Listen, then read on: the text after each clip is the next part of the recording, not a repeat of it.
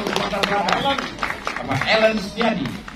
Jadi memang apa yang kami lakukan sebenarnya memang harus kewajiban itu Pak. Jadi memang harus wajib kita himbau semua masyarakat kita untuk menonton film yang pertama berbahasa Palembang dari awal sampai akhir.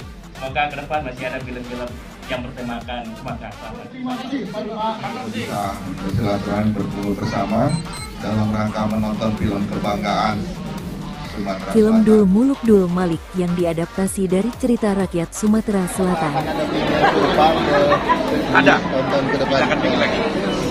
Untuk genrenya sendiri akan sama atau seperti apa? Nah, in- intinya komedi, semuanya komedi. Karena orang orang Palembang gembira, jadi senang dengan komedi. Pak Menteri, apakah bisa mendorong untuk eh, mungkin sebagai pariwisata atau seperti apa gitu tanggapannya Pak? Ya memang kalau Palembang. Ada kearifan lokal yang namanya.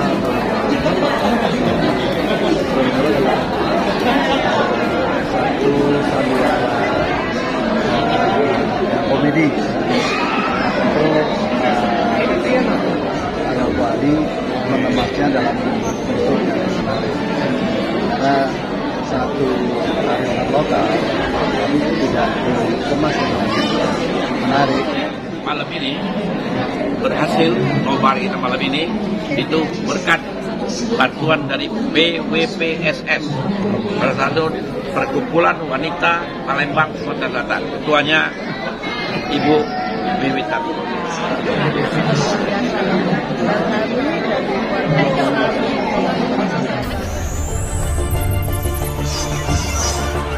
Komunitas Sri Kandi Sriwijaya menggelar acara nonton bareng film Dul Muluk Dul Malik yang diadaptasi dari cerita rakyat Sumatera Selatan di bioskop 21 Epicentrum Kuningan, Jakarta Selatan.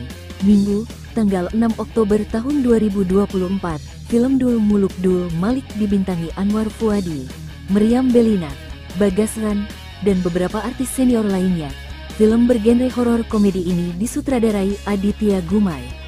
Acara nobar dihadiri Menteri Perhubungan Budi Karya Sumadi, mantan Kepala Bares Krim Polri Komjen Purnawirawan Susno Duaji, para pemain dan produser film Dul Muluk Dul Malik, serta sejumlah selebritas dan beberapa pejabat daerah, tampak hadir Duyan, Roy Marten, Eko Patrio bersama istri Fiona Rosalina, Toku Rian, Ita Mustafa, Mediana Hutomo, Cici Tegal, Pej Gubernur Sumatera Selatan Ellen Setiadi, dan Pej Gubernur Sumatera Utara Agus Fatoni.